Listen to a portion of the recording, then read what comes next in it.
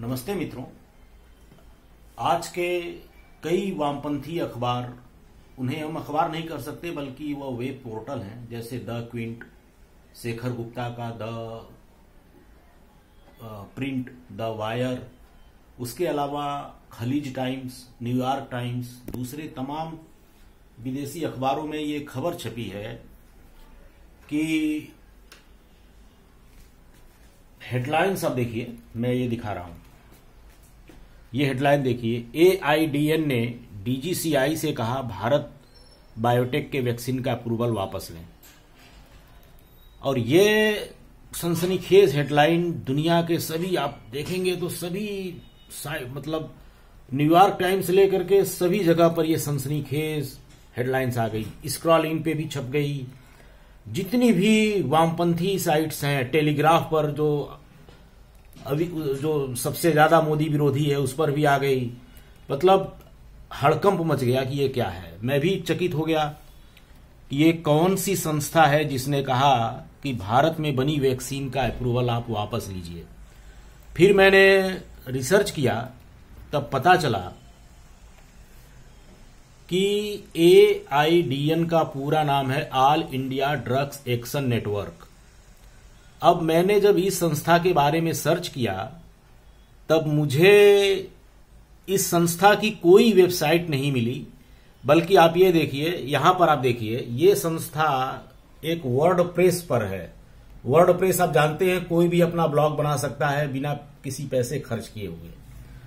उसके बाद जब मैंने इन इस संस्था के बारे में जानना चाहा कि भाई ये संस्था है कौन ये इतनी बड़ी, तब पता चला कि ये संस्था एक इंडिपेंडेंट नेटवर्क है नॉन गवर्नमेंट एनजीओ का, जो rational use of essential medicine के बारे में ये कोई काम करते हैं और पता चला कि ये कम्युनिस्ट पार्टी ऑफ़ इंडिया से जुड़े हुए हैं। आप खुद सब पढ़ सकते हैं कि ये संस्था क्या काम करती है।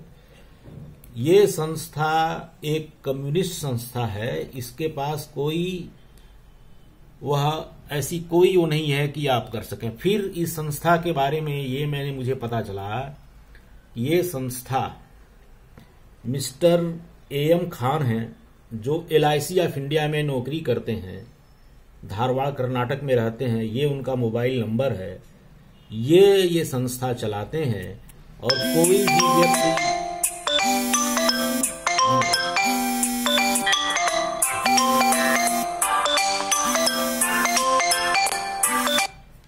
और कोई भी व्यक्ति इस संस्था के नाम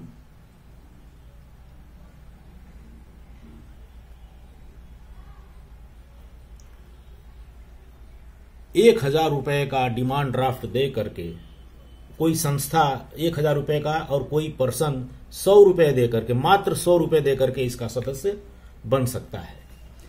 अब आप सोचिए, दरअसल ये जो वामपंथी हैं ये भारत के सबसे बड़े दुश्मन हैं। ये चीन के दलाल हैं।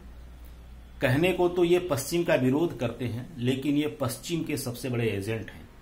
इनके पेट में इस बात की पीड़ा हो रही है कि भारत जैसा देश वैक्सीन कैसे बना लिया। अभी तक दुनिया में सिर्फ़ रूस, चीन, अमेरिका, ब्रिटेन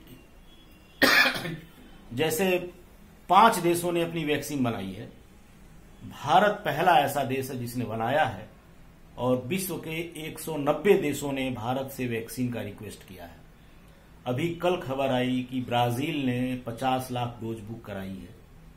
इवन की विकसित देश, जिन्हें हम विकसित देश कहते हैं, स्वीडन, नॉर्वे जैसे देशों ने भारत से वैक्सीन बुक कराई है। अब इनके पेट में ये पीड़ा उमड़ रही है कि भारत इतनी तरक्की क्यों कर रहा है इसलिए ये भारत में बनी हुई वैक्सीन को बदनाम करने के लिए इस तरह की फर्जी संस्थाओं का, जिनका कोई वजूद नहीं है, जिनका कोई काम नहीं है, उनको, उनका नाम लेके ये बदनाम कर रही हैं। ओके मित्रों, नमस्कार। थैंक यू धन्यवाद।